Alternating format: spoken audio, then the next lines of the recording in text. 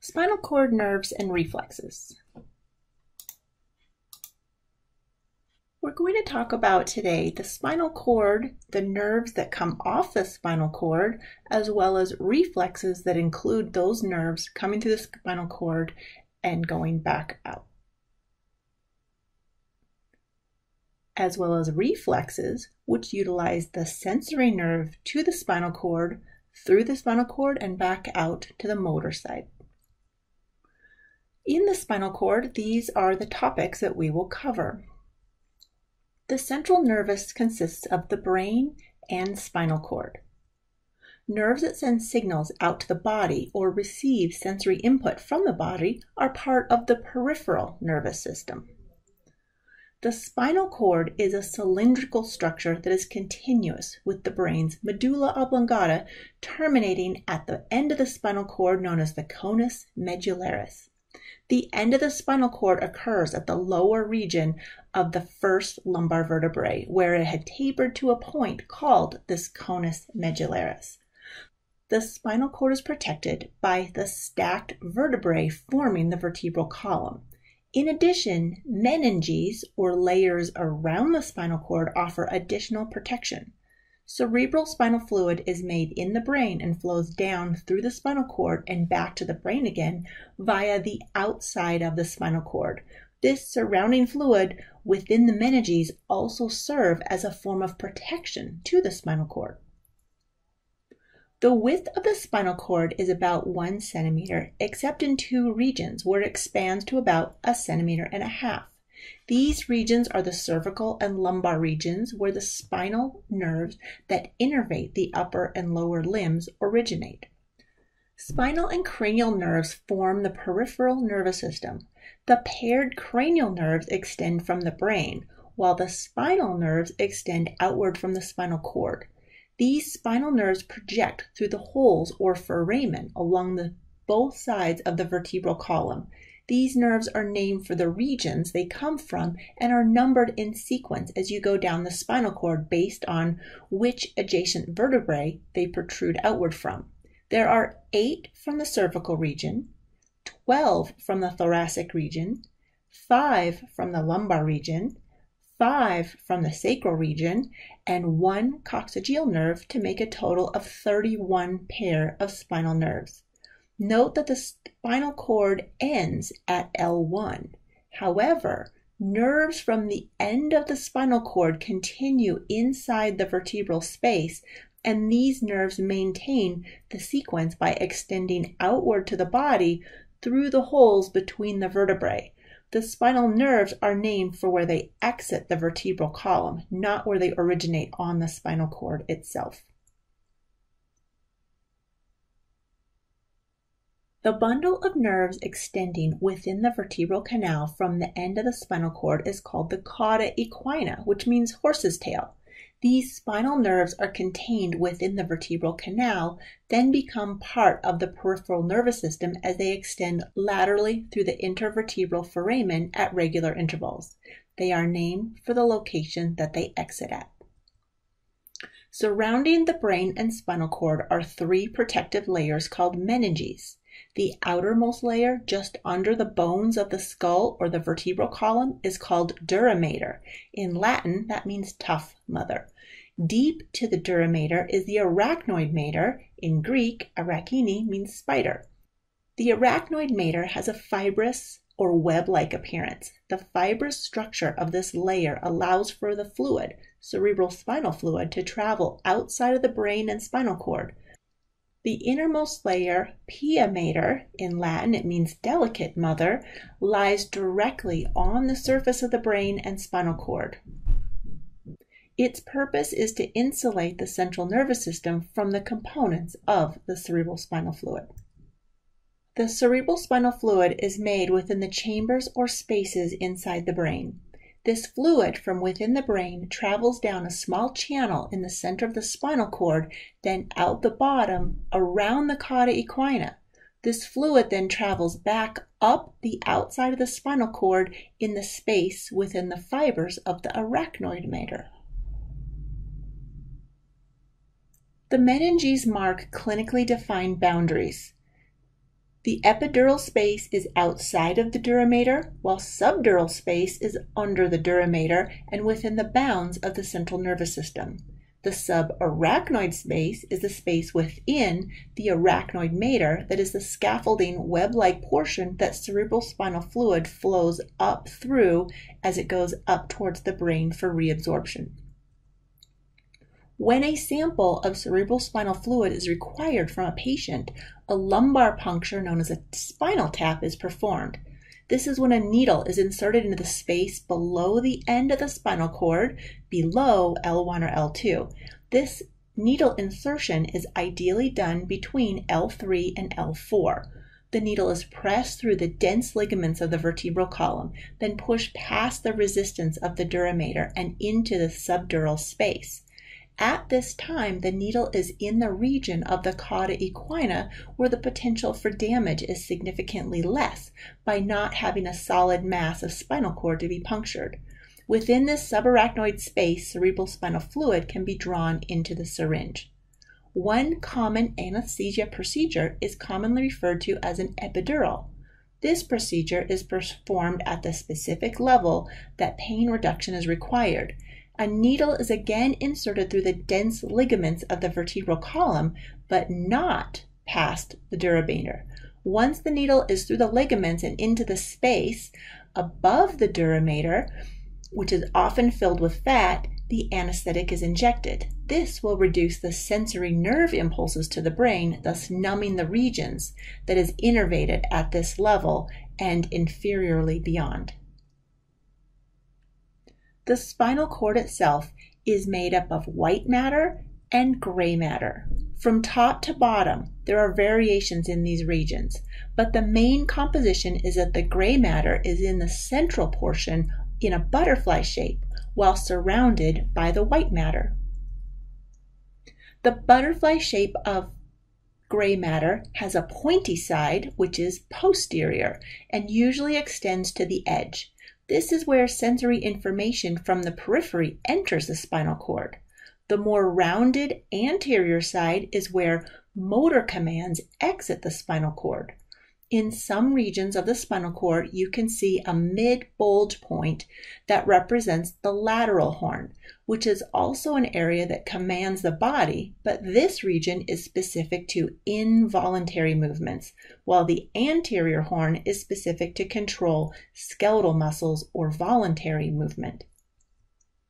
White matter tracts or groups of common axons are clustered together to either go upward to the brain these are known as afferent tracts, which relay sensory information to the brain, or down from the brain.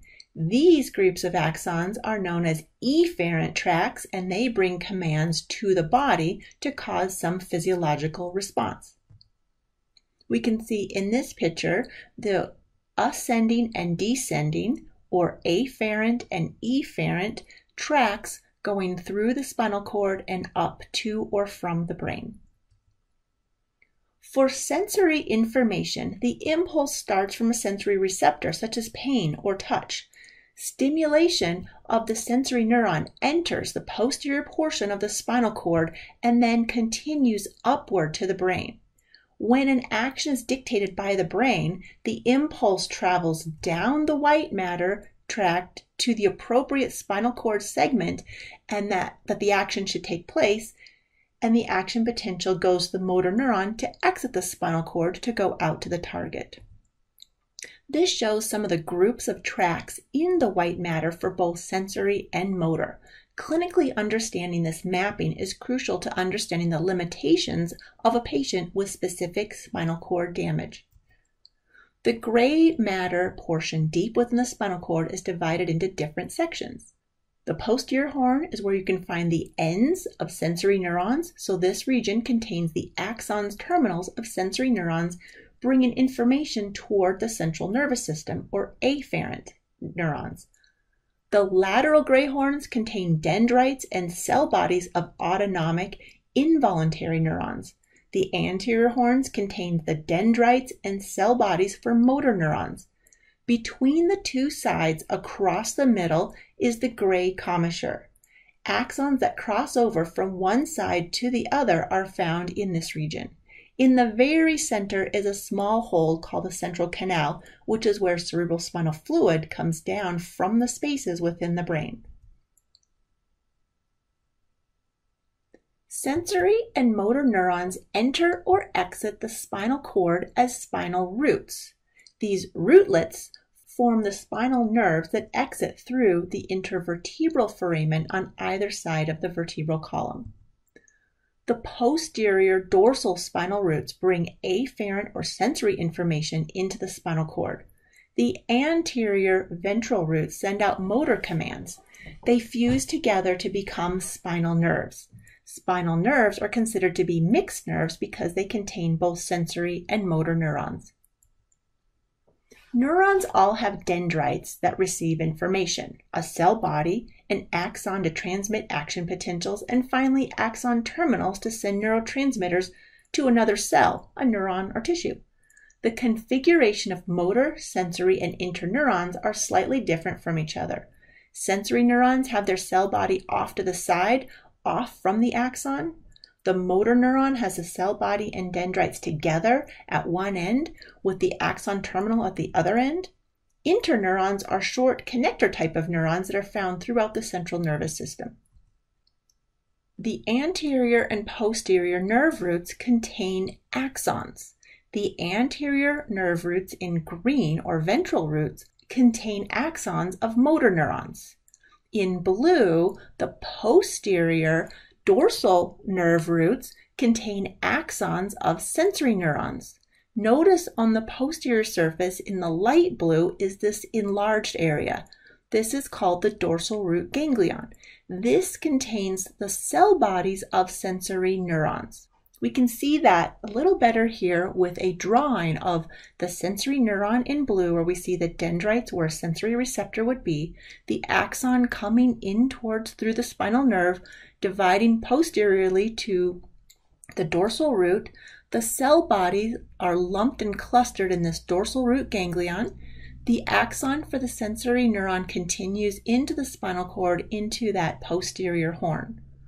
On the anterior horn, we can see the cell body and dendrites for a green motor neuron, and the axon for that motor neuron leaves the ventral root and eventually merges with the spinal nerve where it's mixed, where we have both sensory and motor. The neural pathway for motor or efferent neurons begin in the brain. The impulse travels down the spinal cord in the white matter, down a descending tract, at the spinal segment where the motor activities that take place, the neuron will synapse onto another neuron. The synapse takes place in the gray matter. The gray matter is where the axon terminals from the first neuron synapse onto the dendrites or cell body of the second neuron. The second neuron's axon will exit the spinal cord via the ventral root going out to the muscle to be activated. The neural pathway for sensory or afferent neuron begins in the periphery. For example, touching your finger against a hot surface would stimulate the temperature sensory receptors, bringing the impulse toward the spinal cord via the spinal nerve, then to the dorsal root and into the posterior horn of the spinal cord. Within the posterior horn, the axon terminal of the sensory neuron will release its neurotransmitter onto a second neuron whose axon will send the impulse upward via one of the ascending tracks to the brain. So looking at the spinal cord cross section, it's clear we have the gray and white matter. The white matter is going to be just axons, most of which have myelin, and that's what gives it the white appearance. The gray matter are going to be dark stained, and that's where we find the cell bodies, dendrites, or axon terminal. So this is where a synapse will take place. The dorsal root is going to be where we have the axons for sensory nerves, where the ventral root is the axons for motor nerves. And then dorsal root ganglia are the cell bodies for the sensory nerves. So here's a list with a color coding diagram of the features of the spinal cord that you need to identify. You should also know the portion of the neuron, whether it's motor or sensory, whether it's an axon or dendrite or cell body or axon terminal, where those are located. This diagram may help identify those parts of a neuron in these regions of the spinal cord. At this point, you should be comfortable naming the meninges, knowing what their texture is, knowing the spaces between the meninges as know the spaces between the meninges as well as where you can find cerebral spinal fluid. You should know about the sections or regions of the spinal cord, where enlargements take place, what the roots are, the motor and the sensory, meaning the ventral and dorsal, as well as the distal end components of the spinal cord. You should know on cross-section anatomy, the regions of the spinal cord and what neuron parts are in each region, and you should understand what gray and white matter are composed of. Spinal nerves, these are the mixed nerves coming off the spinal cord. They are mixed nerves because they are made up of afferent sensory and efferent or motor axons. The spinal nerves begin at the point that the dorsal and ventral roots merge and become one. So we've talked about the spinal cord, which is part of the central nervous system. We are now moving over to the peripheral nervous system and specifically talking about the spinal nerves. There are three layers of connective tissue that help isolate and protect the axons within the spinal nerves and subsequent branches. The outermost layer that surrounds the entire nerve is the epineurium. Inside the spinal nerve axons are grouped together based on function and region of innervation. These groups or bundles of axons are surrounded by the perineurium, which separates them from adjacent bundles. The innermost layer that surrounds a single axon is the endoneurium. There are 31 pairs of spinal nerves that come off the spinal cord 8 cervical, 12 thoracic, 5 sacral, and 1 coccygeal. Dermatomes are portions of the skin that are innervated by each of the 31 pairs of spinal nerves. There is a specific mapping with some overlap of adjacent regions that correspond to each spinal nerve. In the event of damage to the spinal cord, knowing the segments of skin associated with each spinal nerve would help to quickly identify the area of damage. Spinal nerves that go to our limbs form a web-like network called a plexus. There are four plexuses. The only spinal nerves that are not associated with a plexus are the second through 11th thoracic nerves you will need to know which spinal nerves contribute to each of the four plexuses.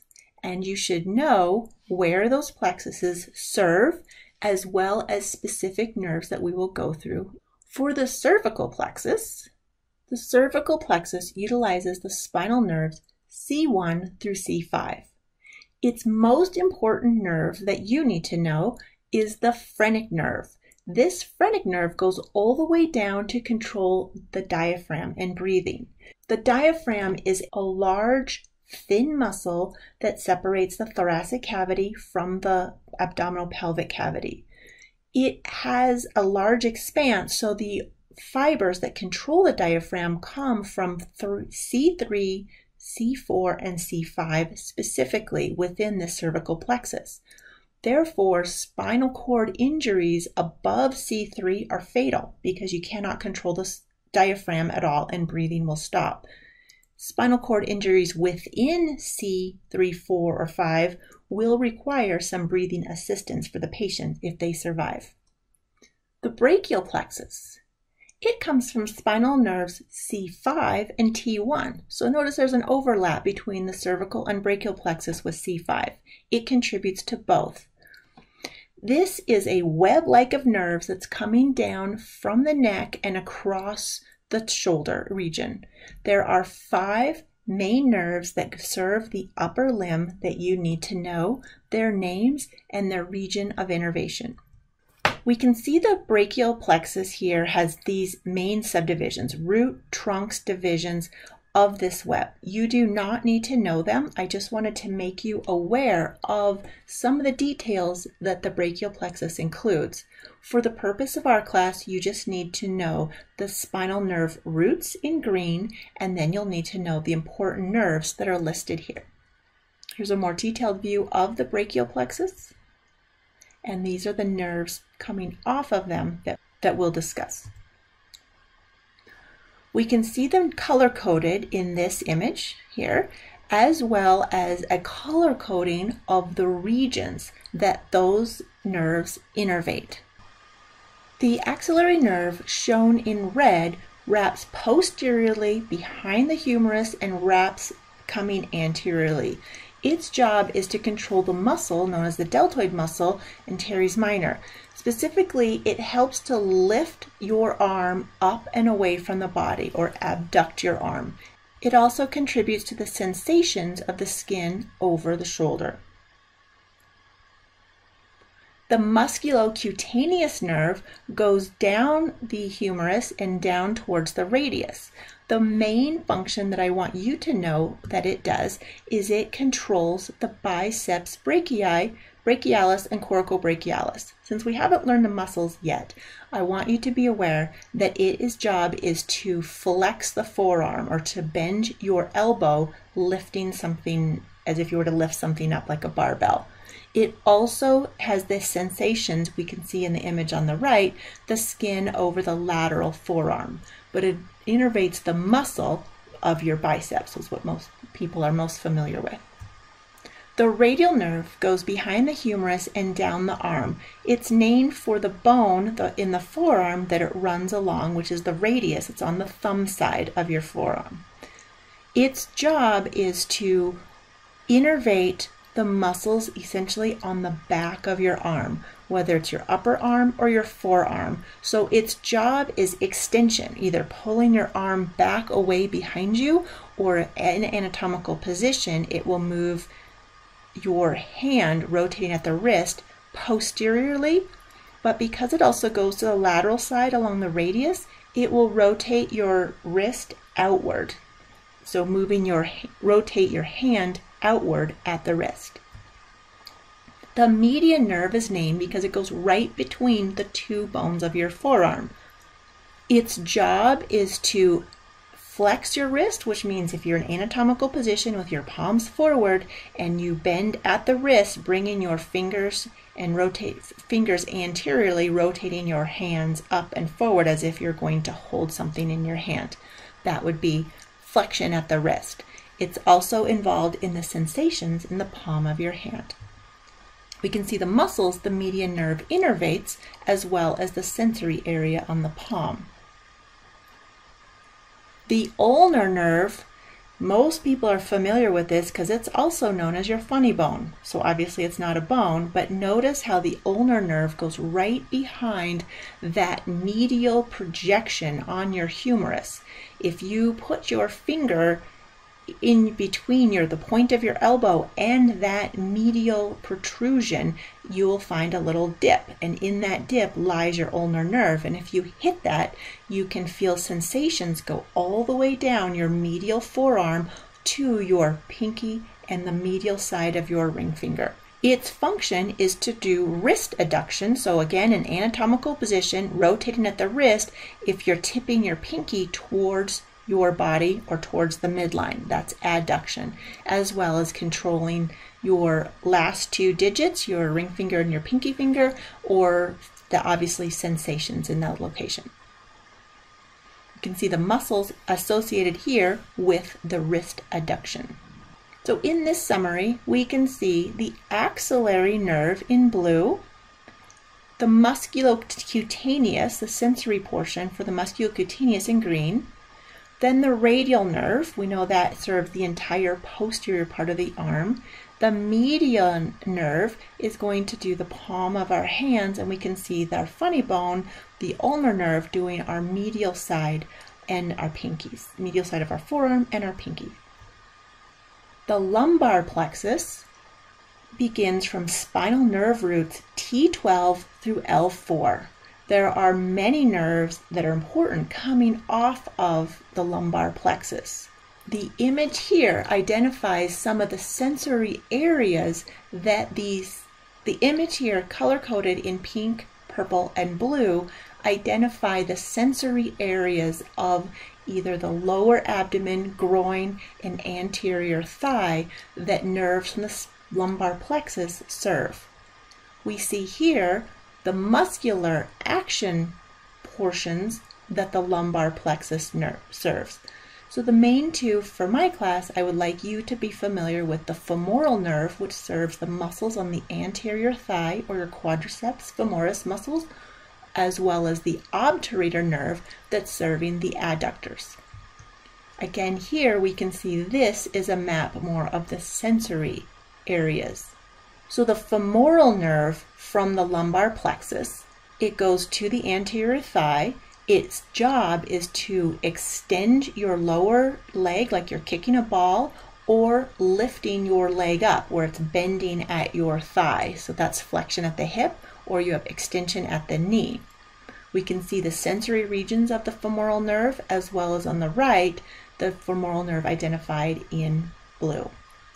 The obturator nerve, we can see it's more medial, so it's going to innervate the muscles in the medial thigh, and its job is adduction of thigh, which brings your legs back towards the midline. The sacral plexus comes from spinal nerves L4 through S4. The important nerves are the gluteal nerves and pudendal nerves, but we're going to really focus on the main and biggest nerve in our body, the sciatic nerve, as well as its tributaries, the peroneal or fibular and the tibial nerve. So this is a lateral view of the sacral plexus. We can see them coming together to form this really large sciatic nerve, as well as we can see some of the other smaller branches, the superior inferior gluteal, as well as the pudendals. The sciatic nerve that is going to be our primary focus innervates the areas highlighted in green. We can see in yellow the sciatic nerve quite prominently as it comes off the gluteal region. In the buttock or gluteal region, we can see that it's traveling under a muscle, that happens to be the piriformis muscle. It's on the back side of the leg, so it's going on the posterior side of the femur as well as the posterior side of the tibia.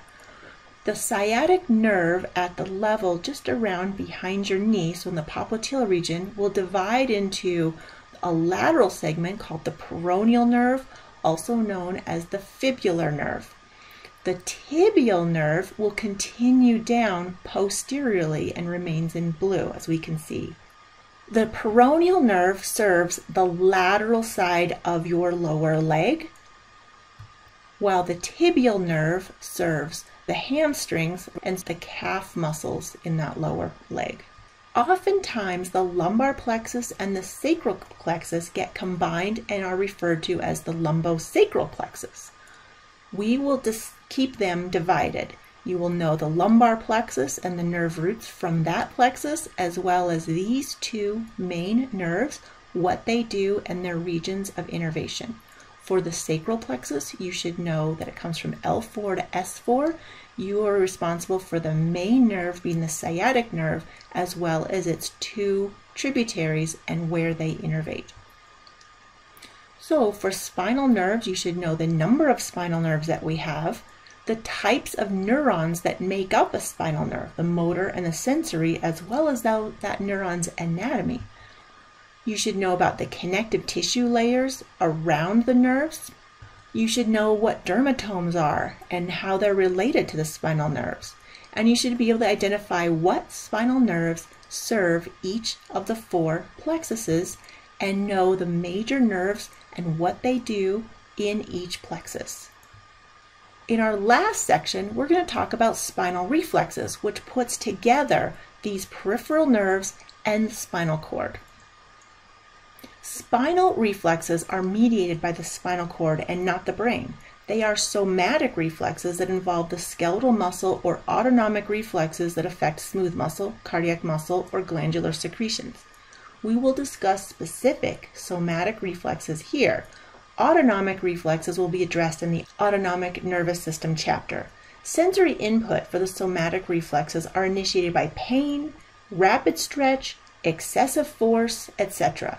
This stimulates a skeletal muscle response. This response is involuntary, although it's happening to a voluntary muscle that under normal conditions would only contract from stimulation originating in the brain. Somatic reflex is an involuntary response to a stimulus. If it's pain, the sensory nerve ending sends an action potential along the axon to enter the posterior horn of the spinal cord a motor neuron will be stimulated whose action potential exits via the ventral roots and out to a skeletal muscle to remove the body from the painful stimulus. In more detail, the process begins with a sensory pain receptor, known as a nociceptor. Then the afferent or sensory neuron that is activated follow the spinal cord to the dorsal roots of the posterior horn of the spinal cord. A synapse is made onto an interneuron reaching from the posterior horn to the anterior horn, where the interneuron will synapse with a motor neuron. This activated motor neuron will send its impulse out of the spinal cord via the ventral root to the spinal nerve and ultimately to the effector muscle that will move the hand away from the pain source. The reflex arc is shown again in this diagram. Begin with the pinprick to the finger and the sensory neuron in blue, the interneuron is in yellow, and the motor neuron back out is in green. It's important to note that the sensory neuron will also synapse onto a neuron in the ascending tract of the white matter to relay the signal of the pain or other stimulus to the brain. Thus, a person will receive information about the stimulus, pain for example. The information will be where in the body it is occurring, an assessment of damage or type of pain inflicted, etc the cognition or awareness of the painful event will take place at the same time or after the body part has been removed from the stimulus. A person has moved their hand before they even realize what is happening. That is the mechanism of the reflex to elicit a movement without a conscious thought to do so. These are the different types of somatic reflexes. The Golgi tendon reflex, stretch reflex, withdrawal reflex, crossed extensor, Babinski, corneal, and abdominal. The stretch reflex starts from a sensory receptor that's a, known as a muscle spindle and it's in the belly of a muscle. When there is rapid stretch of a muscle, so if you were to strike, use a reflex hammer and strike a tendon, the hitting of that tendon will cause elongation of the muscle which is detected by this muscle spindle. The elongation of the muscle spindle then sends a signal to the spinal cord and then out to the contractile elements of the muscle, causing muscle shortening. The clinical purpose of a reflex is to evaluate the pathway from a specific body region to the spinal cord and back out again. So you can, knowing the areas that specific nerves innervate and where those nerves originate on the spinal cord by doing a stretch reflex of a number of muscles throughout the body can tell you if there is damage at a certain level of the spinal cord. The stretch reflex of the biceps tendon tells you if C5 to C6 is okay. The triceps tendon reflex tells you if C6 to C8 is okay, and so on. So we can see that just doing these specific reflexes help to identify if those regions of the spinal cord are functioning. So some additional sensory reflexes include the corneal reflex. This actually tests cranial nerve number 5 and number 7. So cranial nerve number five brings the sensation to the brain that your eye has been touched by something. And then cranial nerve number seven controls the mu muscles that will close your eyelid to protect your eye. So this assesses two different nerves as well as those regions of the brain simply by just touching an object or a corner of a paper to an eye. In the abdominal superficial reflex, you can test it by touching different regions of the abdomen to test these segments of the spinal cord. The Golgi tendon reflex we see here, we see motor axons going to the muscles of the forearm. The Golgi tendon reflex says tendon, so it's actually sensing muscular stress or strain at the level of the tendon. Some people are so muscular that the force that their muscles, and in this case the forearm, can produce is likely to cause damage to their tendons or bones. So this reflex prevents you from hurting yourself. So sensations of excessive force are being sent up to the spinal cord, to the sensory region, connects across through an interneuron to the motor muscles and tells them to stop. So this reflex actually senses damage, but it causes an inhibition of muscular action. And the person's hand will then relax. The withdrawal reflex, we've discussed this one previously, there's a pain receptor, and in order to prevent tissue damage, we send a neuron impulse back to the posterior spinal cord, across, out the anterior spinal cord to the muscle itself, causes the muscle to contract so that you can lift your hand away. A withdrawal with a crossed extensor. So in this example, we have this person. So we have a foot stepping on a sharp pin. That will elicit a pain stimulus going to the back of the spinal cord, and then it'll cross over and it will not only tell your muscle of the side of your body that's stepping on the pin to lift your leg up, but it also tells your opposite side, oh, I think you need to brace and contract because I need to put my weight on this side. And so the reason why this is called a crossed extensor is it's activating muscles on both sides of the spinal cord. For spinal reflexes, you should know the different reflexes that there are. For each reflex, know the stimulus and the effect. The three main ones you need to be aware of are the stretch reflex, the Golgi tendon reflex, the withdrawal reflex, and the crossed extensor reflex as well as the function of each reflex. Why are we bothering to test these or what is their purpose?